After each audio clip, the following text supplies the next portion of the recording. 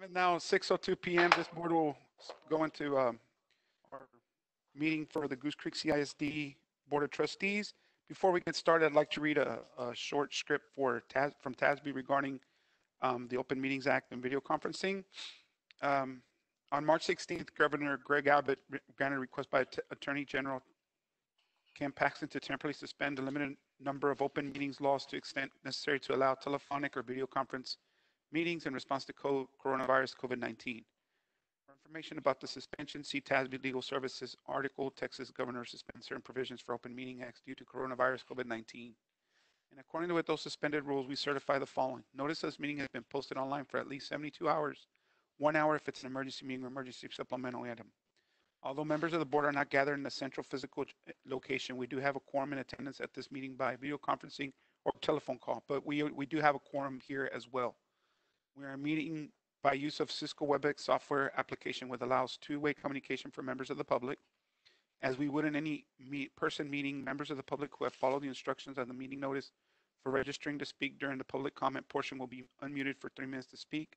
If the speaker submitted written comments in the past, the board secretary will read the comments into the record before or during the board's consideration of that item. If you would like to provide a comment for future meeting conducted by video conference or telephone call, please follow the instructions on the meeting notice. All other meeting procedures will adhere to the board adopted procedures to the extent cap- practicable, and audio recording of this meeting is being made and and be available to the public at a later date. The Software application allows for 1,000 members of people to view and interact at a time. We apologize in advance for any unforeseeable difficulties and ask you to be patient as we navigate unprecedented conditions. If any questions is suspended laws, please call the Office of Attorney General at 888-672-6787 or my email at capital T, capital O, capital M, capital A at oag.texas.gov. Okay, uh, Mr. Poppy, was the meeting properly posted? Yes, it was.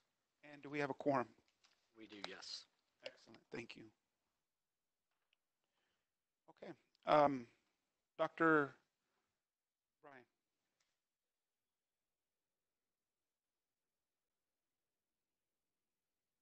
Um, Dr. Brian,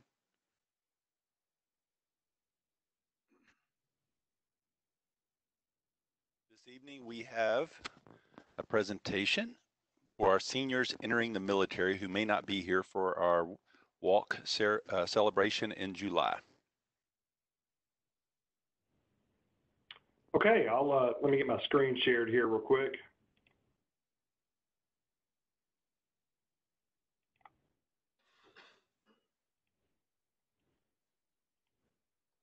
There we go. Okay, hopefully you can see that, uh, introductory slide. Is that, is that showing the recognition for seniors?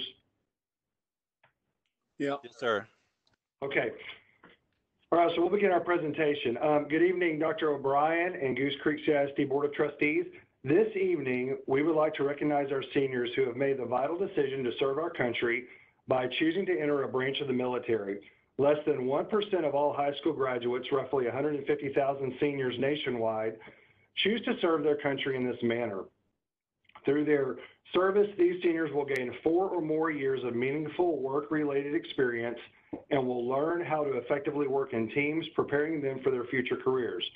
The students that are being honored tonight reported their intent with their senior counselor, their college and career counselor, or their junior ROTC instructor. I would like to take this time to recognize and thank our Junior Reserve Officer Training Corps staff in Goose Creek CISD for building a solid foundation and preparing students for a possible career in military service. Our junior ROTC instructors at Goose Creek Memorial are Master Sergeant Top Anderson and Gunnery Sergeant Anthony McKenzie. Instructors at Lee High School are Lieutenant Colonel Jeff Wooldridge and Gunnery Sergeant Jason Wells. Instructors at Sterling High School are Colonel Patrick Farrell and Sergeant Major MJ Hinges. Students who spend two credit years in the MC Junior ROTC can join the military at a higher rank. So there is an advantage to being in the Junior ROTC. I would also like to Yes, I, I believe we have slides to accompany your opening statements. yes. Can you see my slides? Yep. It's, it's on the very first slide. Okay, I'll, I'll uh, scroll through those.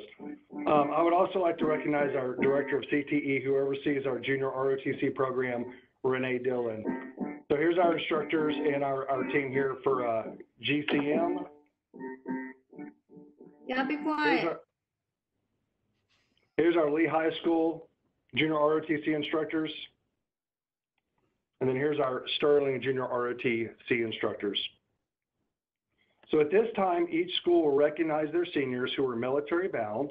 We will begin with Top Anderson, lead junior ROTC instructor at GCM. Next, we will hear from Joe Farnsworth, principal at Lee High School, and then last from Nathan Chaddock, principal at Sterling High School. So at this time, I'd like to turn it over uh, to Top Anderson. Uh, Good evening. At this time, I'd like to recognize the uh, following seniors from uh, Goose Creek Memorial who have chosen to enter a branch of the Armed Services. First is Alyssa Carbajal, is enlisted in the United States Army. Alyssa was in JROTC for two years and achieved the rank of cadet corporal. Next is Tori Hillstock, is enlisted in the United States Army Reserve. Tori chose to serve in the military because she is from a military background and felt like it was right. Next, we have Abraham Casas, is enlisted in the United States Marine Corps. We are proud of you, Abraham. And just as a note, uh, his sister is also on active duty in the Air Force. Elion Richarte has enlisted in the United States Marine Corps. Elion was in the JROTC for four years with the, with the rank of Cadet Staff Sergeant. Elion states, I enlisted because I wanted to do something that would give me a sense of pride, something that would let me do something bigger than myself. Serving in the military will always allow me to develop a positive character, to be better than who I am. Next, we have Marcus Botello, has enlisted in the United States Navy. Marcus is excited about his new chapter in life. Is Trenton Brown, has enlisted in the United States Navy. Trenton is looking forward to opportunities and adventures. Next, we have Christian Cockle, has enlisted in the United States Navy. Christian so chose to serve in the military because he wanted to take charge of his future and take care of his family.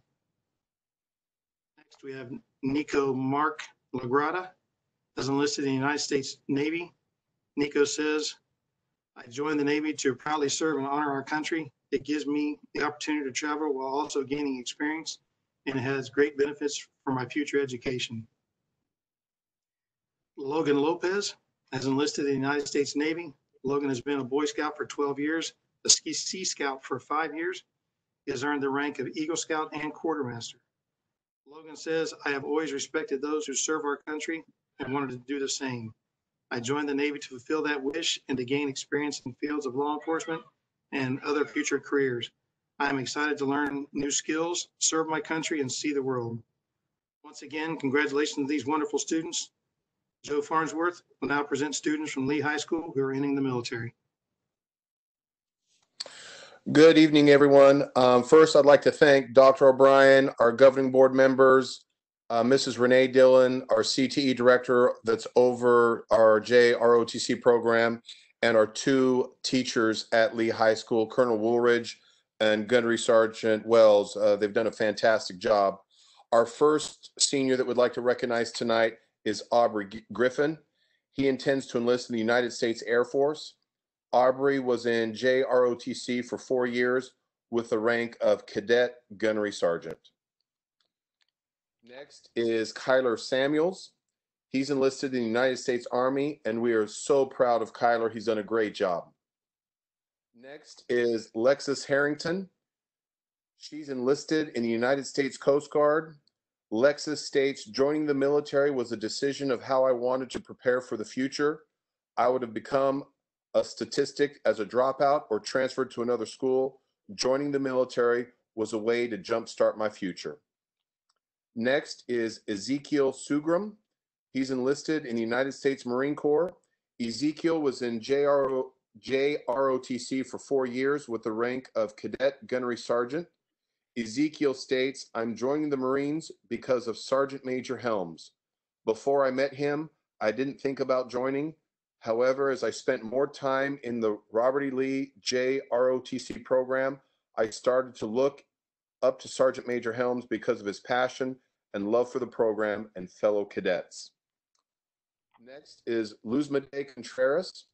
She's enlisted in the United States Navy.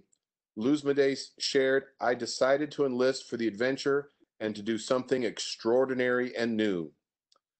Ruby Herrera has enlisted in the United States Navy. Ruby states, I enlisted because it's very important for me to be involved and informed about what's going on in our nation.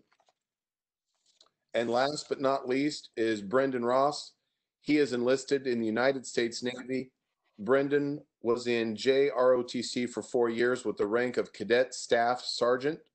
Brendan states, I decided to join the Navy because I've, I've wanted to join since I was a kid, and the Navy is full of opportunity.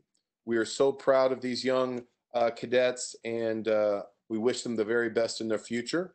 At this time, I turn it all over to Nathan Chaddock, principal of Ross S. Sterling High School. Thank you, Dr. Farnsworth. Um, Good evening. At this time, I too would like to recognize our, our seniors from Sterling High School have chosen to enter a branch of the armed services. I would first like to start by thanking our, our fine instructors, Colonel Farrell and Sergeant Major Hinges. They do just a fantastic job for us each, each and every day and just great role models for our, our young cadets and students. So, but I would like to also say, you know, that as a proud father of an active U.S. Marine, I really can appreciate the choices these young men and women are about to make. So again, students, I thank you for your future service. I'd like to start out with Jalen Ford. Jalen will be enlisting in the United States Air Force. Jalen was in JROTC for one semester with the rank of cadet sergeant. Jalen states, I'm joining the Air Force for the benefits of preparing for my future career, and I'm interested in aviation. Next, Daniel Flores. Daniel has enlisted in the United States Army. Daniel says, I joined the Army because it was always a childhood dream of mine. Congratulations, Daniel. Logan Griffin. Logan has enlisted in the United States Army. Logan was in the JROTC for four years with the rank of Cadet Gunnery Sergeant. He states, I enlisted in the Army to provide a challenge and better myself for the future. Alexander Maine. Alexander has enlisted in the United States Army. Alex was in the JROTC for four years with the rank of Cadet Staff Sergeant. Alex states it's been a lifelong dream to enlist because when they asked me what I wanted to be in elementary, I said I wanted to be in the Army. It has stuck with me as I chose to take classes like JROTC to achieve my dream. Next, Colby Benrostro has enlisted in the United States Army Reserve. Colby was in JROTC for one year with a rank of Cadet Private. Colby states, I enlisted to better my future and to make it a career. Next, Gustavo Hernandez. Gustavo has enlisted in the United States Marine Corps. Gustavo was in JROTC for four years with the rank of Cadet First Sergeant. Gustavo says, I enlisted because I want to serve my country and study law. Next, Brian Lomax. Brian has enlisted in the United States Marine Corps. Brian was in JROTC for two years with the rank of Cadet Sergeant. Brian states, I want to protect this country and do my part to make sure it stays the same for many years to come. Next, we have Cody Mead. Cody has enlisted in the United States Marine Corps. Cody was in JROTC for four years with a rank of Cadet Gunnery Sergeant. Cody states, it is a family tradition. My grandfather was in the Marine Corps for over 20 years and I want to follow in his footsteps. The military feels like a great place for me to start off my adult life and was an obvious and easy choice for me personally. Next, we have Travis Roach. Travis has enlisted in the United States Marine Corps. Travis was in JROTC for four years with the rank of Cadet First Sergeant. Cody states, my father served in the military and as a young child, I did want to serve my country and defend it. In high school, I joined the ROTC and preps for me to serve my country. Next, we have Nolan Welfy. Nolan has enlisted in the United States Marine Corps. Nolan was in JROTC for four years with a rank of Cadet First Sergeant. Nolan has given us a quote that states, the walls of Sparta were once young men as borders the points of the spears.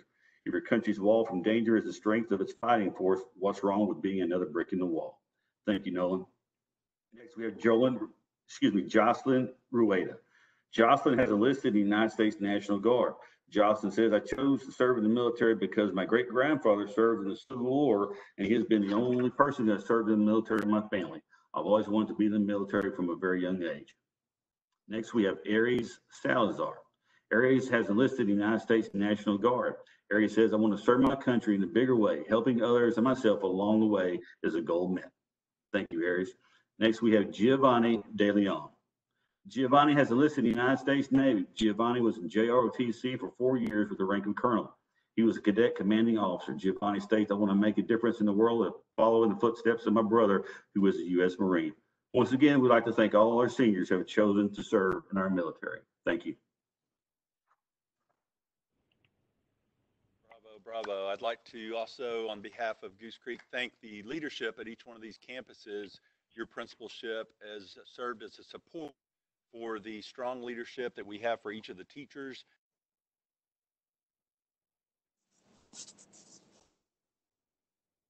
Amen.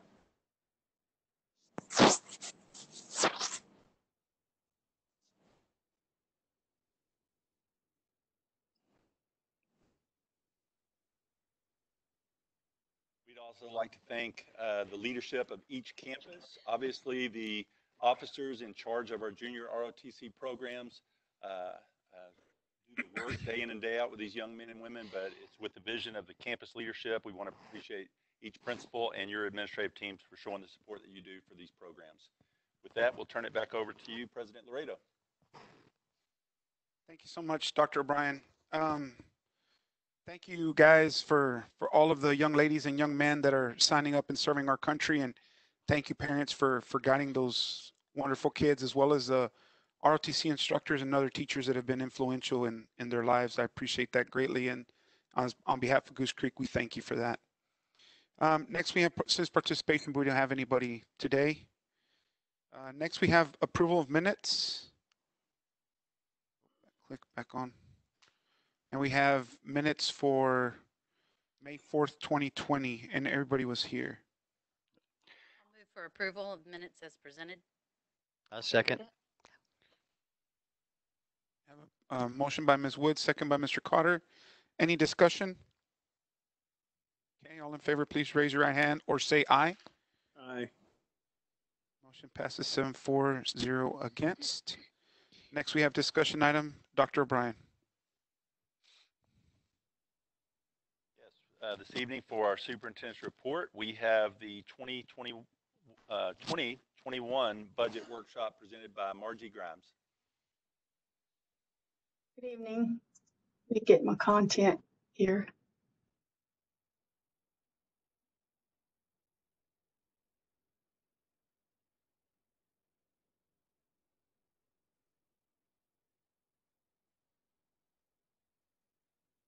I just start?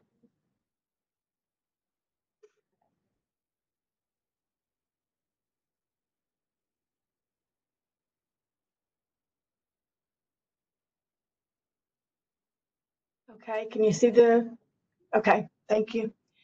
Um, good evening, Board President, uh, Loredo, um, board members, Superintendent O'Brien and guests.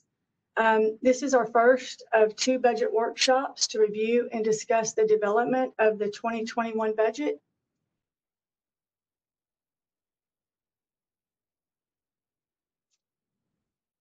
Um, before we look over the budget calendar, uh, I wanted to have um, a moment just to discuss some opening comments. Um, we're sort of in some uncharted territory. Um, there's many uncertainties regarding the fiscal impact resulting from COVID-19. And Texas school districts are likely to experience disruptions in the 2021 instructional year due to the pandemic. So according to guidelines um, released by TEA, uh, we we have we have sound finances and we're resilient uh, to handle any economic impact or any revenue shortfalls. Um, but this is unprecedented. No one knows when the event will end. Uh, no one was, knows what the ultimate impact will be. And therefore, the 21 budget uh, presentation is based on a fiscal, a typical forecast and normal assumptions. In addition, information and factors, as, as additional information and factors become known uh, that influence the budget, we're prepared to make budget adjustments accordingly. And the district does have a fa- strong financial position, as I mentioned, and this will help offset any revenue declines. Uh, we also want to point out that although Comptroller Hegar had forecasted an eight, approximate eight percent or nine billion dollar funding that was to be available for the next two-year budget cycle, we believe cautious optimism uh, for continued growth is apparent due to the downward trends related uh, to COVID-19, such as the dropping oil prices, volatility in the financial markets, the lowering of interest rates, uncertainty in trade prospects, the Texas unemployment rates that could more than double, and estimated declines in the Economic Stabilization Fund that have been project, projected already. Um, there is the possibility of some additional funding for Texas schools with approximately 1.3 billion from the CARES Act, roughly about 1.2 billion uh, going to local district districts in proportion uh, to what they receive under Title I Part A. So um, details are not yet available on exactly when the funding will occur and exactly how the money can be spent. Um, we expect more information soon. As I understand it, TEA is um, going to release an application by the end of this month. Also note on April 24th, uh, Lieutenant Governor Dan Patrick announced that he's established six Senate committees or working groups to discuss the challenges that the state will face in the next legislative session due to the pandemic. So um, with that as a backdrop, um, we're prepared to adjust as we go, as new information becomes available, and we're going to proceed as, as, as normal. We could create a lot of scenarios and, and uh, no one knows which one would be the right one at this point. So um, this is a uh, look at the budget calendar. Uh, we will hold our second budget workshop on June the 1st. And uh, we're scheduled to publish our notice of public hearing to discuss the budget and proposed tax rate on June the 3rd and adopt the budget on June the 15th. Um, budget objectives, I'm not going to cover this list. These are just the district standard. You may read through these yourself. They're the same as we, we adopt each year. Planning assumptions. Um, we've estimated student enrollment growth at 1%. Our preliminary taxable values for 2020 of 12.1 billion for the M and O is after the value limitations, and it's slightly higher, about 1% than last year. The INS preliminary values of 15.4 billion actually decreased by about the same percent. They were down about 1%, and that all showed up in the industrial category. Um, state and local funding estimates are slightly higher just because we've included a growth rate of 1%. Uh, for chapter 313, our revenue protection payments are not included in the general fund budget proposal. Um, we have received payments. We've continued to receive some of those payments over the past few years, and that's resulted in some excess fund balance. But at this point, not knowing, we don't have anything included in the in the budget. Um, Supplemental payments, however, from our agreements are estimated at 9 million and they're included in the capital improvement fund. Um, as a reminder, those funds are not received until the property tax due date of January 31st. And so uh, additional projects will not commence until those funds are collected. Um, as far as the foreign trade zone revenues, those are also accounted for in the capital improvement fund. We do have preliminary values from Exxon on their uh, foreign trade zone uh, inventory. It's a little bit lower than last year, and last year we received just under 1.6. So we, we're going to be close on that. We might have a little slight, um, slightly lower um, collection on that. Um, I'm not going to go into compensation and benefits because Dr. Wyatt will cover that a little bit later. I do want to say that we don't have a general pay increase included in the budget. And what he's going to present is also um, conditional and there's no monies at this point appropriated for, for anything in the budget for salaries. Uh, the debt service fund proposal is based on an estimated tax rate increase. Um, the increase is, is 3.9%.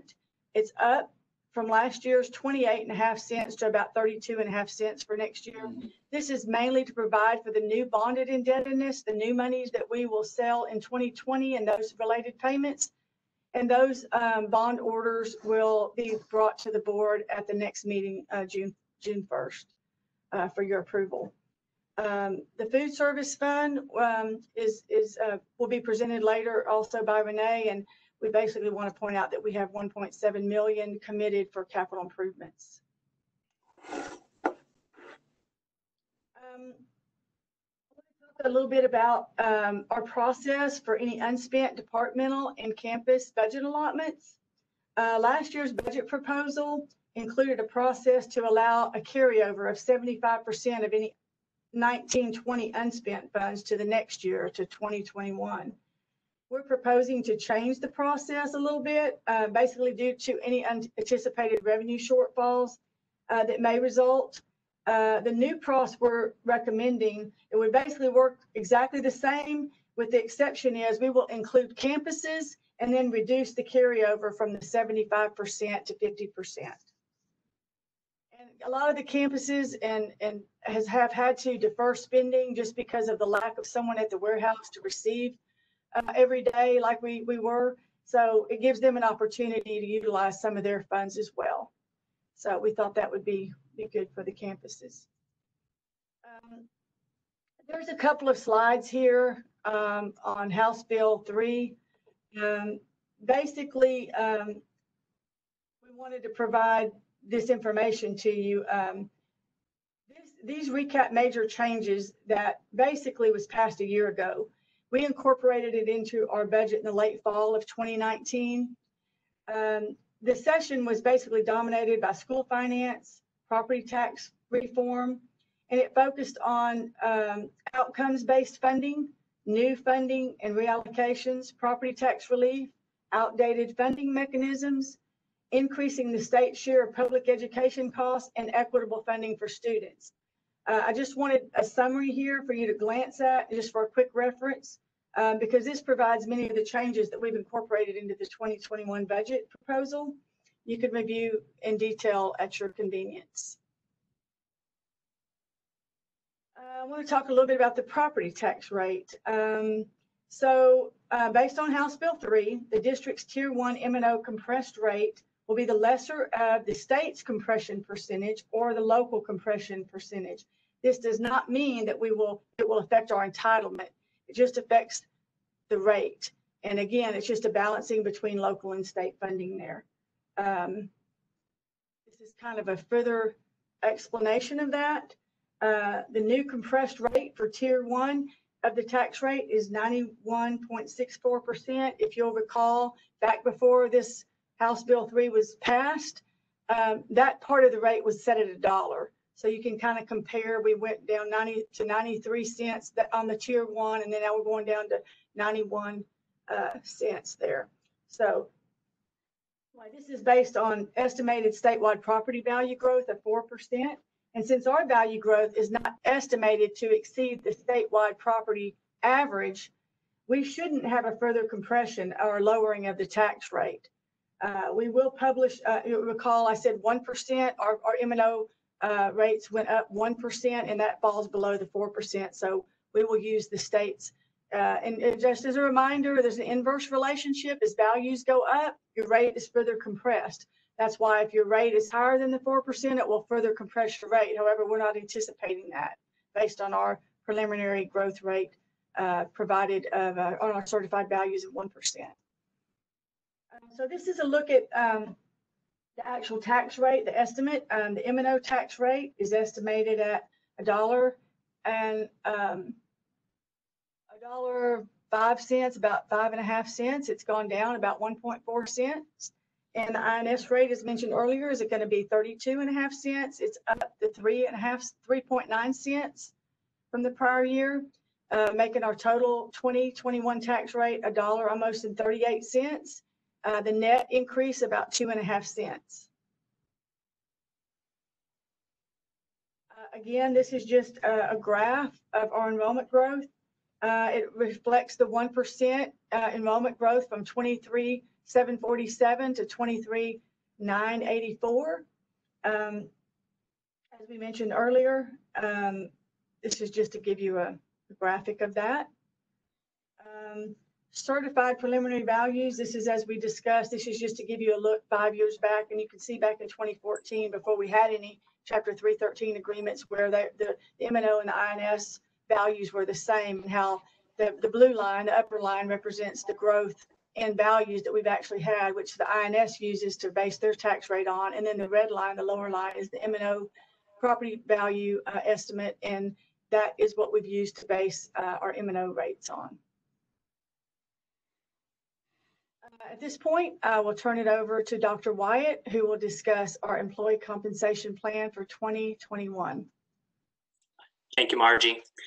Um, as uh, Margie said earlier, we are not currently, there's no money in the budget right now for a uh, general pay increase. Um, we did look at several options that are listed on here. You see we, uh, we did talk about doing no salary increase, um, doing a general pay increase just at a cost of living adjustment amount, uh, one to one and a half percent is, I believe, what the, the cost of living has been in the, the increase of cost of living in the la, in the area for the last few years.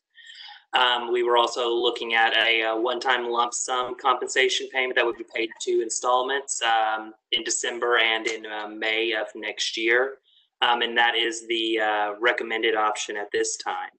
Um, our uh, benefits uh, department is also looking at some other health insurance options that could uh, try to uh, decrease costs for our employees, which would be a roundabout way of increasing their take-home pay.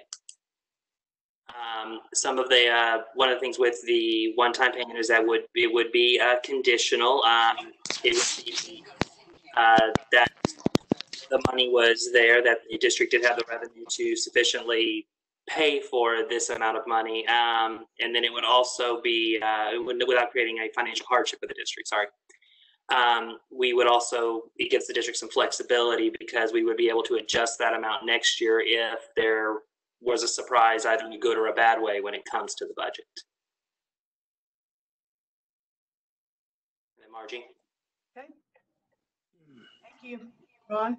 Um, okay, I'm going to cover, uh, just quick, quickly, the debt service fund, uh, budget proposal, and then I'm going to turn it over to Renee. She will cover the school nutrition fund and the long-range capital improvement plan. Um, Debt service projected revenue is 50 million. You can see on the total revenue lines, I'm kind of trying to outline that box so you can see that the revenues are 50 million, 012, that number. Um, we, it's up about uh, 1.4 million from last year. Um, This increase is entirely related to the incremental tax revenue collections generated from the tax rate increase we just discussed for the new bonded indebtedness payments that we will incur once we sell the 2020 uh, bonds. Um, We're slated to sell those in around August, the time frame. Um, Total expenditures increased by about three and a half million from the prior year, also due to the debt payments for the 2020 bonds. Note that the revenue increase is less than the expenditure increase, and there's a variance between our fiscal year dates and the bond payment schedule. We always have some payments that show up in you know, after the year closes in August and October. So there's always a, a variance there between those. Um, but we use the unrestricted fund balance to try to stabilize our target level. Um, so um, uh, the projected fund balance of 34.7 million includes restricted amounts of 19 and a half. It's those last two lines, the 12.8 and 6.7 added together it's restricted both for our October 15th and October, August 15th and October 1st bond payments. And then the QZAB interest sinking fund that we have to set aside. Um, that's the 2005 uh, bonds. And then we have unrestricted funds of 15.1 million uh, that's available for debt service. And we also, like I say, we utilize that fund, that unrestricted fund, to try to keep our tax rate, you know, level as we move forward we have a little room for variances there. So with that, I'm going to turn it over to Renee, and she's going to talk to you about the food service fund and the long-range capital improvement plan.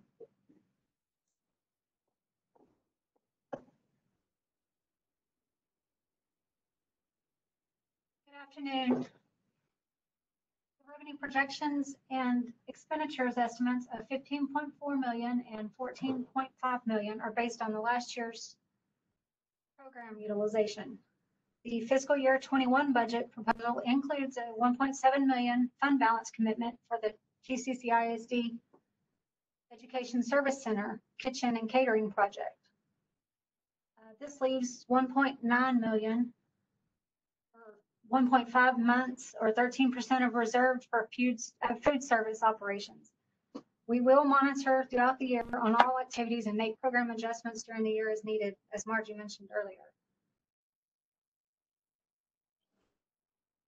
Here we have the long-range capital improvement plan. Just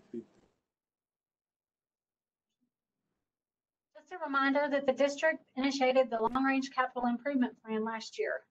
pursuant to a prior board action, our three thir, chapter three thirteen revenue and FTZ payments are accounted for in this capital improvement fund. Also recall that the plan, that this plan and budget is not required to legally be adopted by the Board of Trustees. Our plan is presented to provide complete information and full transparency to both the board and community. The long-term capital improvement plan is developed to account for projects that may span multiple years, multiple fiscal years. Therefore, all the transactions that may coincide with the current budget year may not coincide with the current budget year. The sources of revenue generated for each year of the five-year plan is reflected at the top of the schedule, followed by the proposed budgets scheduled by, by year of implementation. The project implementation will not begin until revenues are calculated and received, which is typically around the due date of January 31st for the Chapter 313 revenues and FTZ revenues. Um, The schedule goes on to two, three pages. So, um, have any questions? Our presentation and we'll answer any of your questions.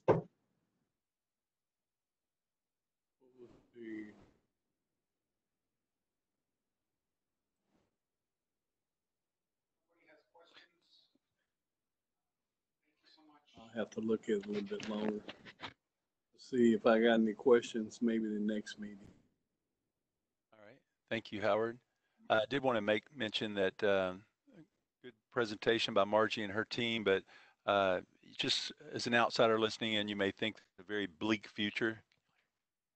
Uh, and that's because of the unknowns, the uncertainty of the pandemic. But there's a lot of silver lining in the fact that the CARES Act was passed and uh, we believe we'll get uh, help with FEMA and, and uh, for reimbursables and things of that nature. But but more than that, I wanted to commend uh, them for the work that's been done over the last uh, three or four years, even longer, to secure the district's future with a solid um, foundation by having a fund balance that is um, that protects us for um, far into the future.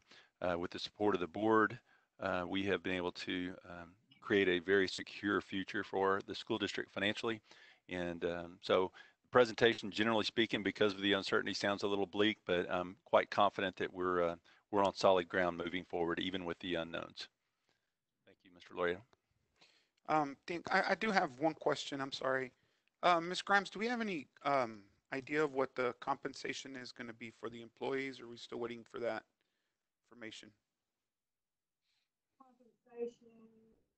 Dr. Wyatt covered that just a little bit. There was three or four proposals, and right now they're looking at, rather than a continual, perpetual increase at this point, they're looking at a flat rate that would be available to the employees in uh, two sta- two installments. You want to flip, can you flip back to that page? Do, do we have an idea of what that's gonna be or, Well, we, we set a maximum, uh, I- I can't listen, hear you, Ms. Grimes. Closer to the mic. Right there. Dollars, um, up to a thousand dollars. Um, that, that could be changed, but when we did this a few years back, we paid seven fifty, I think, to exempt staff, and I think it was three fifty to non-exempt. So, uh, we thought we probably wouldn't exceed a thousand, um, but that could be determined at the time known resources are available. And we, the, the board and the, and the um, superintendent then would have the authority to make that decision, uh, once we get further into the year and once we, uh, better know what our resources will be. Okay. And Margie, Thank can I, Have- Do we have one more workshop or two more before we? One more workshop and then the adoption. Okay, then I'd like to request that we at least see a one percent, two percent raise and know what the figures are before we decide we're not doing that at all. Um, we can provide some estimates, uh, as a rule of thumb, as a rule of thumb right now. Uh, one percent is costing about two million dollars. That's just a thumbnail.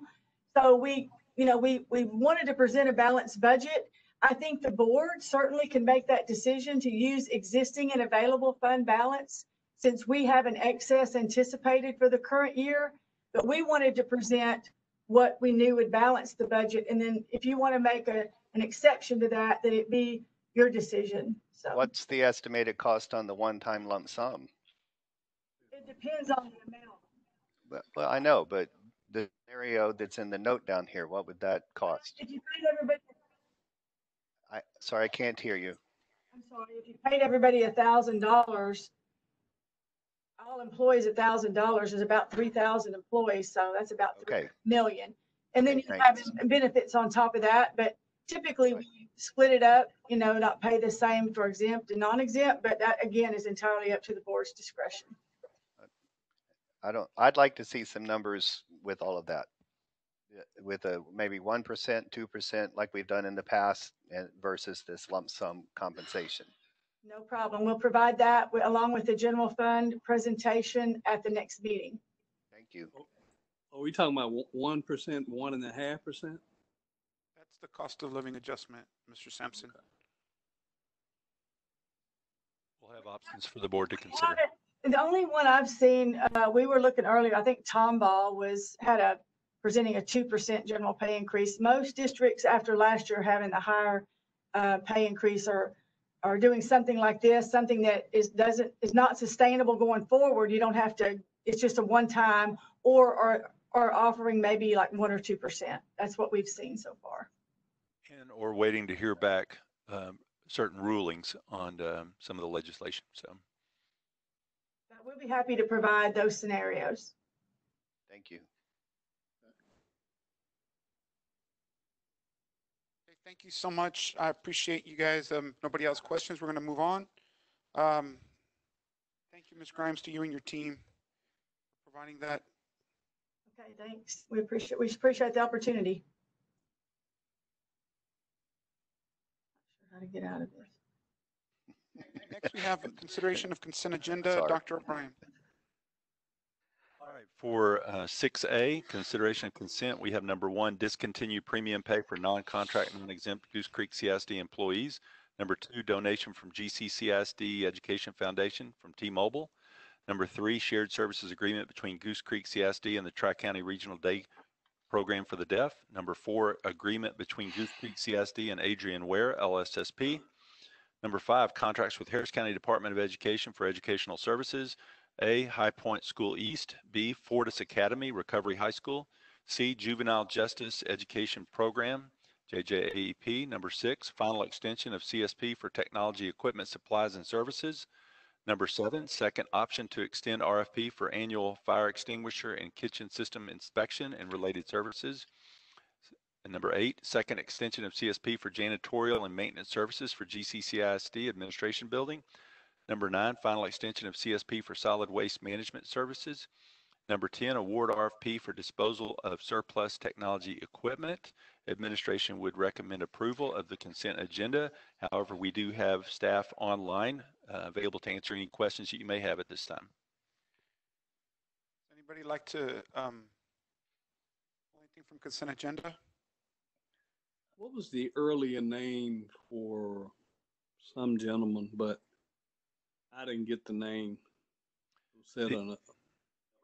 5B is Fortis Academy. Is that what you're asking about? Maybe that was, I thought it was another single name. It's, uh, that is the Harris County Department of Ed. It's, um, it was formerly a, an empty building, a vacated building. I believe it was an elementary school of HISD that Harris County was able to acquire.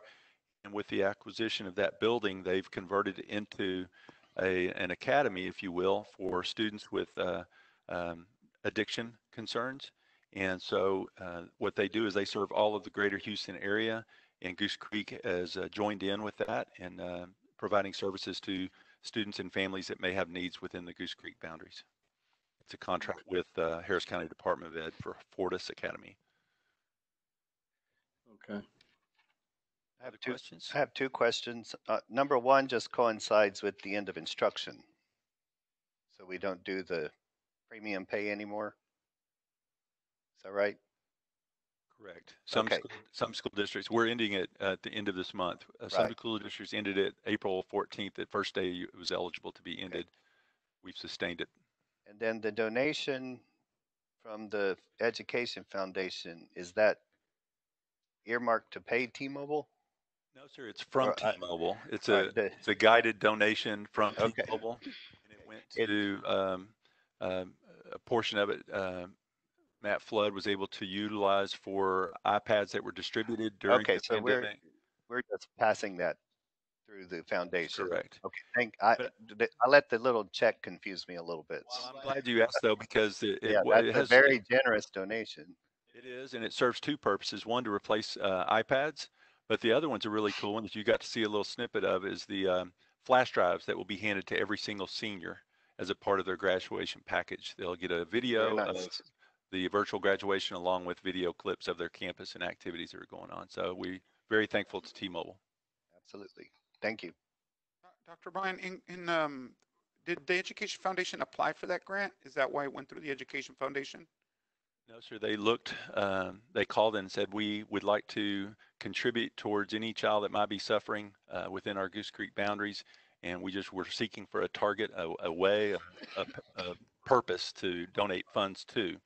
And this is one of the things Ms. Foster is the director of the Education Foundation. And um, I simply made a call to her and found out whether or not um, those funds would be accessible to go through into a technology component for uh, the students that, that we've supported through the uh, stay-at-home order. And uh, she said absolutely. She got, of course, the uh, board members from the Education Foundation endorsed the idea.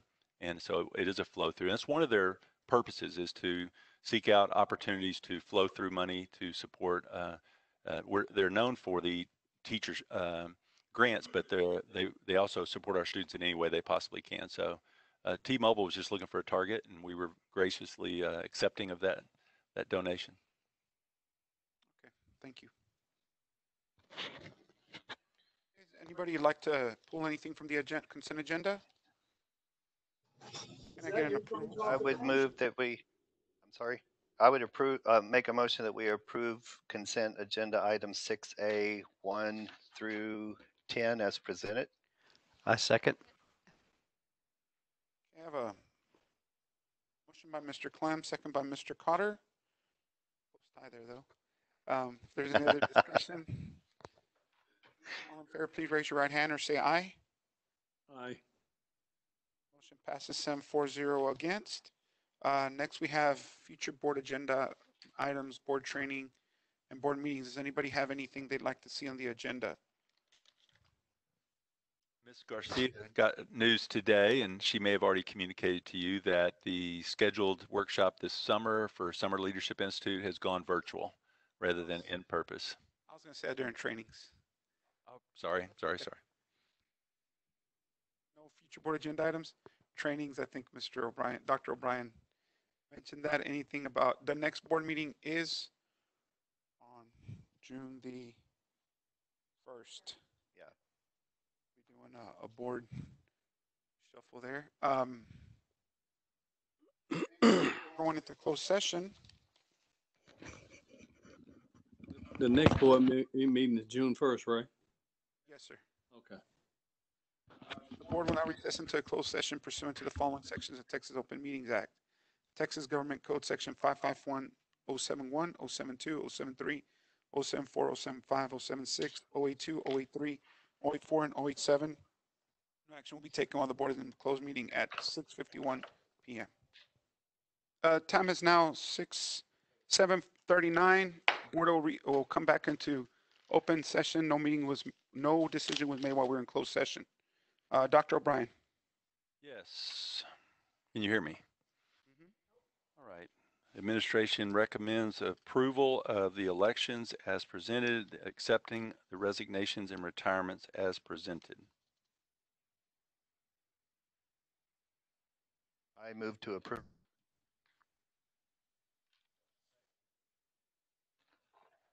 Have a motion by Mr. Clem, second by Mr. Cotter. Any dis, any, um, any discussion? All in favor, please raise your right hand or say aye. Is Mr. Sampson not on here? He's on mute, I think. Oh, Mr. Sampson, can I get a thumb up or? I'm abstaining. Okay. Motion passes six four zero against one abstention. And next, we have notification of elections uh, as approved by the superintendent during the pandemic, uh, noted on page 105 through page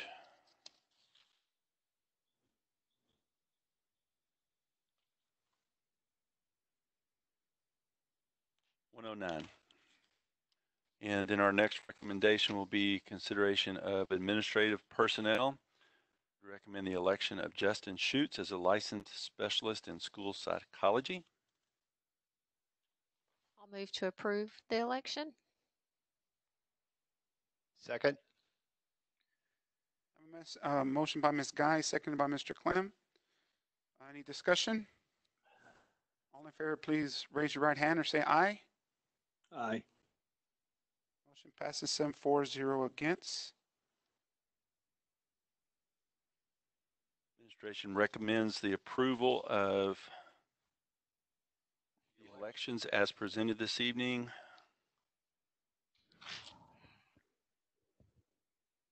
I'm sorry, we've already completed that. Let me move to the administrative personnel. Uh, Election of Kay Simon as a speech language pathologist. Dr. O'Brien, point of, point of order. Thank you. Um, I thought I was skipping a page here. Uh,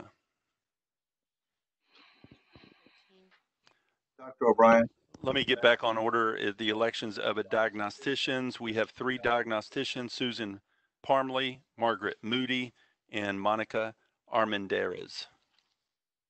Are we back on line, Mr. Chapa? yes, sir, we are. Thank you. So four B? Is what you just said? The diagnosticians? Yes, sir. Okay, I move to approve. I have a motion by Mr. Clem, second by Ms. Woods. Any discussion? All in favor, please raise your right hand or say aye. Against? Abstentions? Abstention.